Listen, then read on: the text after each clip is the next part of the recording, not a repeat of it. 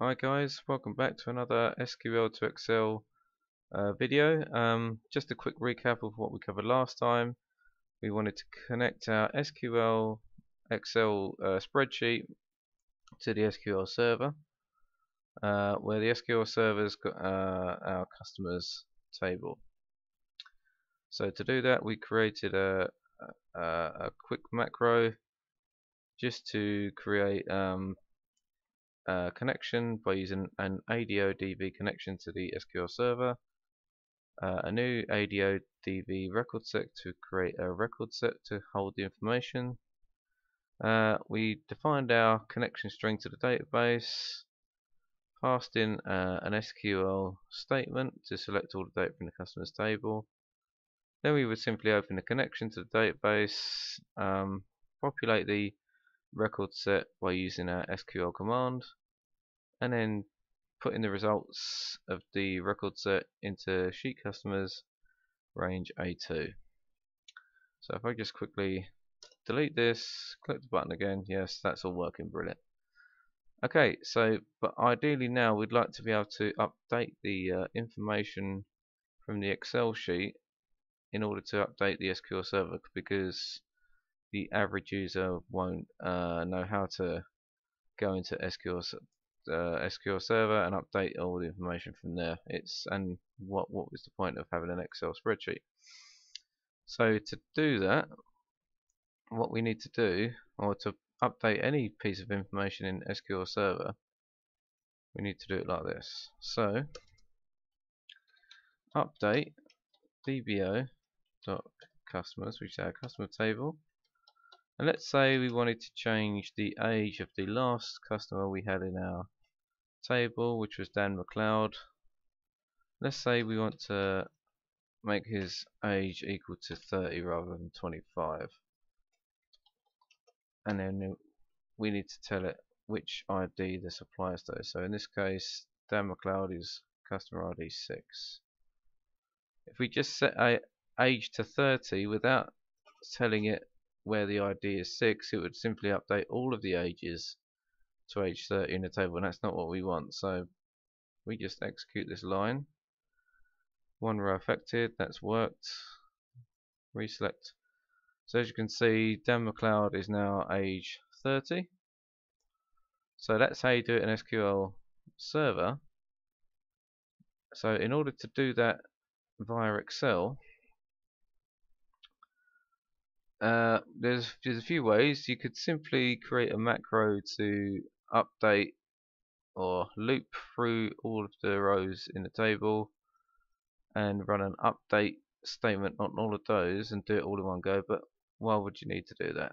Um, the most efficient way is to simply update the row that you are currently selected. So in order to do that, you go into the sheet and what we're going to do is create uh, a worksheet level operation so that when something happens in the sheet it automatically triggers this macro. So this is a change event. As you can see here private sub worksheet change. Obviously I've written this out prior to this video. So uh, let's just take care of a few things first. First I've had to uh, make a few declarations up here which I'll talk you through in a second. As with pretty much all macros that I write I always turn off screen updating and turn off the or make the calculations manual. This is purely to speed everything up. Uh, with change event uh, level macros I always make a habit of disabling the events. Now the reason for this is if you change something on the sheet and the macro triggers if you uh, refresh effectively refresh the data as part of the macro then the event will just keep triggering again and again and again into an infinite loop and it will crash. So whenever you uh, run a macro on a worksheet change level you always it's always good practice to disable the events run the macro refresh your data and then re-enable at the end and then that way it doesn't cause any infinite loops excuse me So, what I'm going to do is I'm just going to put a stop marker here and let it trigger and it will stop in that place and I'll show you what happens. So let's say we wanted to, so double check, okay, so Dan McLeod's age is now 30. Uh, why is that triggered? Okay, ignore that. Let's take that off for a second. Okay, so purely just refresh the SQL data and that event kept triggering because obviously we were refreshing the data. So let's put that stop back in. Okay, so Dan McLeod's age we changed in the SQL server to age 30. Let's say we want to change it again back to 25. So if we just type 25 and press enter, now that we've pressed enter, the uh, worksheet change event has triggered, and because we've put this stop mark here, the macro has stopped in place as we've requested. So let's use F8 to step through this macro. So what are we doing? First of all, we're disabling the screen updating so we don't get any kind of flickering. Although, to be honest, with only six records, you wouldn't really get that anyway, but I always make it good practice to do that. Turn off the calculations again just to speed up the macro and disable any events. So when you're up refreshing the data in the sheet for a worksheet change event, always turn off the events so that we don't get into an infinite loop situation. Now what am I doing? I'm, defer I'm defining the last row and the last column. That's what this LR and LC means. So to do that we just say sheet customers and then row count the number of rows in column 1 and then show me the last row. So if we hover over this LR, we should see last row 7, which it is. Brilliant. And the same concept for the last column. We're saying for sheet customers, cells, and row 1, and then count the columns to the end, and then show me that will show the last column. So last column should be 5. So 1, 2, 3, yeah, okay, column 5 is the last column. Now why have I done that? Well basically if we want to change something here we don't want to trigger the update event because it's irrelevant. You know, anything over only within the scope of the table where there is any information do we want to actually trigger the event.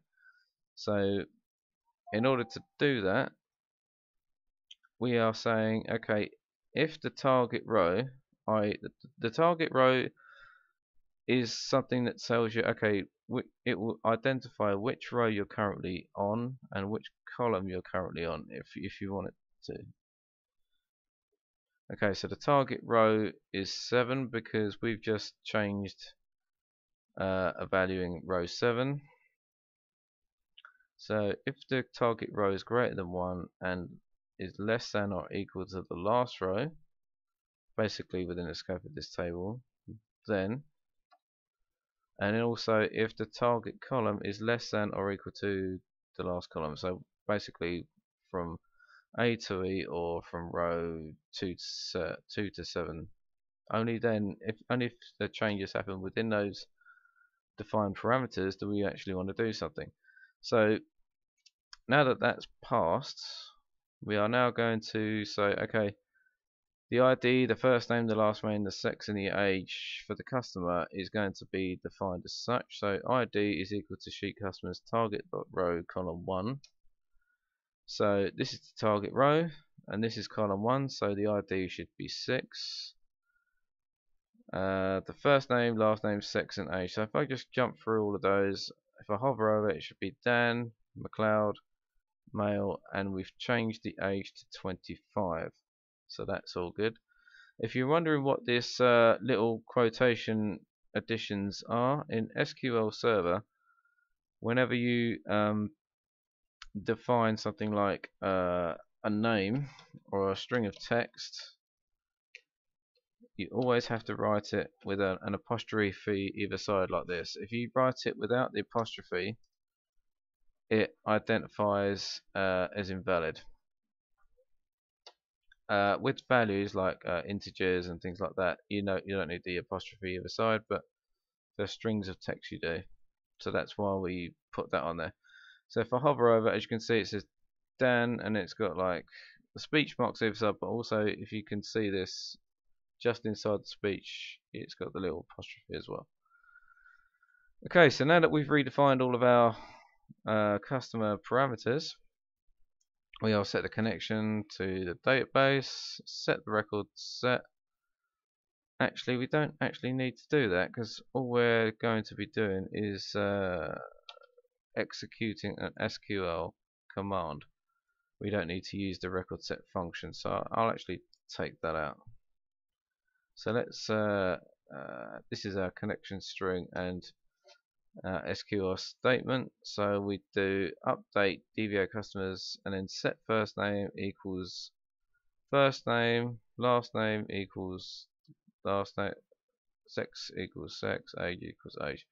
If I go to the immediate window and just do a question mark on SQL, that will show what the final SQL string looks like. So update dbo customers, set first name equals Dan, comma, last name equals McLeod, comma, sex equals male, comma, age equals 25, where ID equals 6, which is, as you recall, what we had in our uh, SQL in order to change that. Um, you have to write the SQL string out like this, so you, you start with your speech marks and write the text like this, but when you're adding in variables, i.e. these variables that we've declared up here and defined here, you have to do end you have to end the string like this with the speech marks and then do and symbol and then the variable and again and then you create the next part of the string like this. Um, you'll be able to study this uh, video at your leisure and sort of play around with this but this is how you lay out the SQL statement if you are adding in variables. So we open the connection and then we just execute the connection uh, for the SQL statement. And we close that and then set connection as nothing. Uh, what I've put here is to call the uh, uh, uh, macro that we wrote before in order to effectively refresh. So what we've done is we've basically said, okay, if it's within this parameter of the table, um, uh, set the set the values of uh, the target row or the target customer as this, execute the statement, and then effectively refresh. So it will be quite seamless. So I'm just going to turn that off for a second. Go through in the app in the sub procedure. So as you can, as you recall, we changed the age of Dan McLeod back to 25. As you can see from the SQL uh, window here, it still says 30, but uh, if we rerun the select command it should change back to 25 yes it does. So we have now effectively changed the age of Dan McLeod uh, using the Excel that we've created. So let's uh, change this to say 45 right, let's let's get rid of this stop mark and just run it as normal. So refresh let's change it to 45 now if I take that out oh no we've got to deal with null values. We'll do that later. So yeah there we go. 45 if I go back in here yeah it's been changed to 45 what that little error was before where I tried to uh, remove the value and then run the uh, macro it was basically saying that because I tried to effectively change something to a null value, we haven't dealt with that here. So we'll do, deal with that in a second.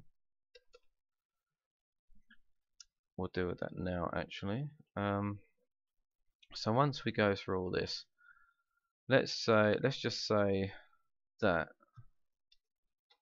if uh, ID is equal to blank, then id equals null. Basically, if anything, if if a value is uh, empty or null value, you have to say it's a null when passing it into the SQL string. So I'll just do that for all of these uh, variables. So first name equals blank, then first name equals null. And if if last name uh, as you can see I'm doing the speech marks and then the two apostrophe marks in between. That's how it would look if there was no value in the cell. I'll we'll run through this in a second. And if if sex equals blank then sex equals null and if if age equals with the age and the ID I'm just doing as two speech marks either side like that because we don't have to add the apostrophes because they are integer values. Age equals null. And if okay so now we've dealt with all of those conditions. If I just pause it there let's say I wanted to take that out this time now we'll run through. So last row column yeah so target row is 7 okay we've gone already gone through that already. The age is empty. Uh, what's the ID uh, if the ID equals type mismatch. Ah oh, don't do this now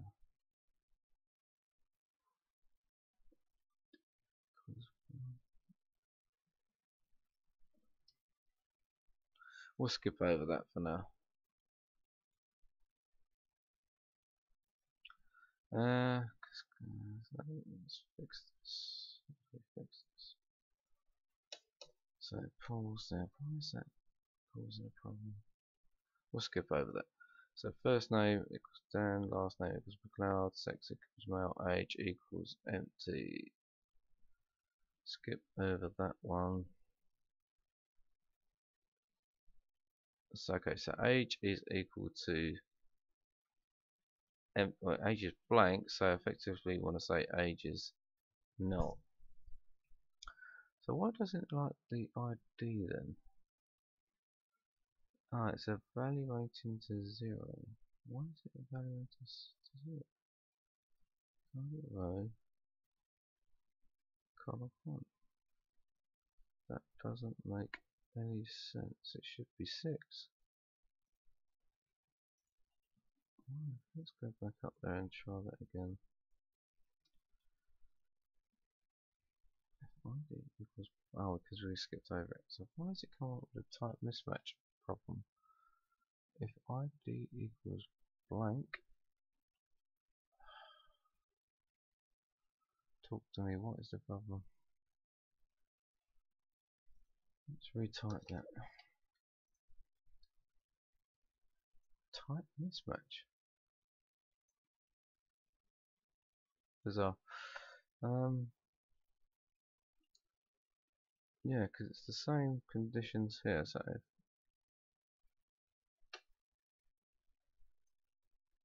or, or let's try this. What is empty ID? Doesn't like that either. Why doesn't it like? Let's just get rid of that. Ignore that. Okay, fine. Okay, so now we update and execute. Sorry about all this, folks. Just having a bit of a, a problem with the ID. So, okay, it's now allowed for the fact that we got a null value, in other words. Uh, let's take that off. 20, 30, no. No. Yeah, it all works fine. Brilliant. I just had a problem with the ID for some reason. Okay, so there we go. We've effectively got, now 553 years old. So we've effectively got uh, a two-way update um, Excel sheet to the SQL server. And I'm going to finish the video there. Thanks for your patience.